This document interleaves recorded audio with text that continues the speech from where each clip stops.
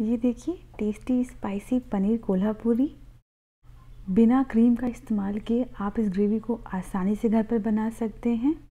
Hello everyone welcome to foods heaven आज मैं बनाने वाली हूँ कोल्हापुरी पनीर। तो चलिए इसे बनाना शुरू करते हैं। सबसे पहले कोल्हापुरी मसाला बना लेंगे। इसके लिए एक पैन में दो टेबलस्पून खड़ा धनिया डाल देंगे। चार लाल मिर्च डाल देंगे। दो तेज पत्ता डाल देंगे। चार इलायची पिचका कर डाल देंगे, एक इंच दालचीनी डाल देंगे, पाँच लौंग डाल देंगे, सात काली मिर्च डाल देंगे, एक चम्मच जीरा डाल देंगे। अब इसे दो मिनट के लिए भून लेंगे। इसमें एक टेबलस्पून सफ़ेद तिल डाल देंगे, तीन टेबलस्पून घिसा हुआ सूखा नारियल डाल देंगे।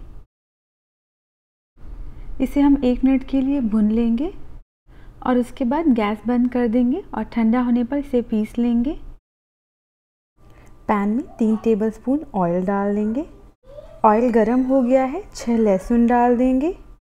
दो इंच अदरक डाल देंगे। तीस सेकंड के लिए भून लेंगे इसे।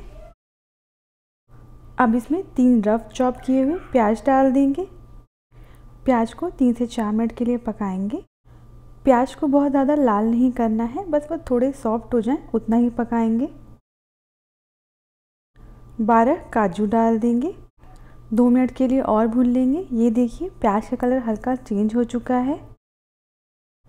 चार मिर्च डाल देंगे। अब इसमें तीन टमाटर डाल देंगे। इसे तब तक पकाएँगे जब तक जो टमाटर हैं, वो अच्छे से गल ना जाएँ। टमाटर अच्छे से गल गए हैं। अब इन्हें ठंडा करके पीस लेंगे। इसमें थोड़ा सा पानी ऐड करके पीसें। अब एक पैन में एक टेबलस्पून घी डाल देंगे। घी गरम हो गया है, इसमें एक टेबलस्पून कश्मीरी लाल मिर्च पाउडर डाल देंगे। आधा चम्मच हींग डाल देंगे। एक बार इन्हें चलाकर अच्छे से मिक्स कर लेंगे। इसके बाद इसमें प्याज टमाटर का पेस्ट डाल देंगे। इसे अच्छे से मिक्स कर लेंगे। मैंने कश्मीरी लाल मिर्च को पहले ही घी में ऐड किया है। ऐसा करने से जो ग्रेवी का कलर है वो बहुत ही बढ़िया आएगा। और काजू की वजह से जो ग्रेवी है वो अच्छी गाढ़ी हो जाएगी।